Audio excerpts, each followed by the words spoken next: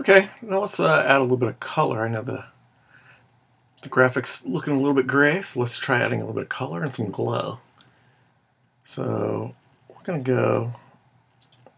We're gonna we're gonna add this to our um, to our screen hologram screen comp that's actually in our original uh, hologram composition.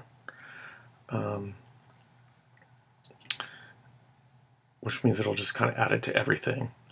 Um, so let's go under Effect, um, Color Correction, and Curves. And here we can try messing around with, um, we got different channels, RGB, and you can mess around with the colors. With, uh, we'll go in, we'll try red and kind of, actually pull it up, you get more red, pull it down, you get a little less red and a little more green. Um, I think I would kind of like to have mine a little bit bluish, so maybe go into the blue and you know pull it down, you got less. Pull it up, get a little bit more.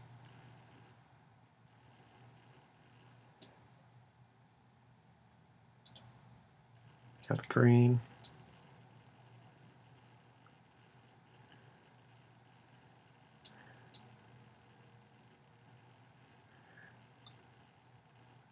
Just kind of play around. Get some different effects there. Okay, so now we got a, a color added.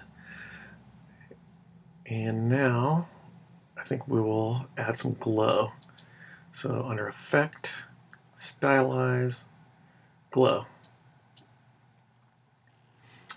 And you just play around with some of these settings. Um, glow radius. Kind of softens it all up a little bit.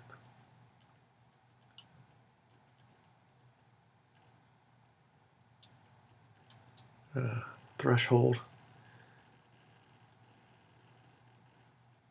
It kind of adds a little bit of the brightness to it and kind of just and distorts it a little bit.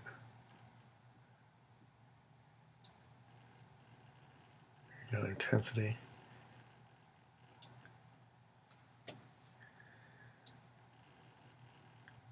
Yeah, different ways you can get some different effects there. Play around some play around with some stuff.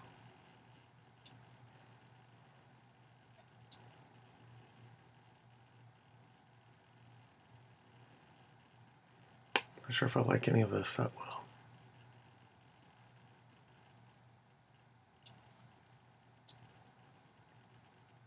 Be a little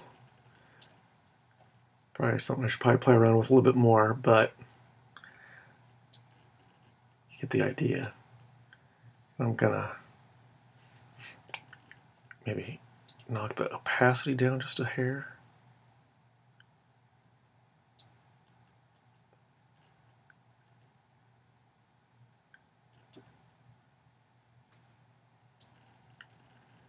Yeah, okay.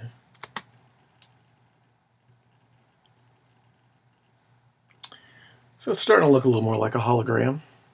If we could play, play around with some more of those settings and kind of get a little more refined and get things a little bit better. But like I say, you get the idea there.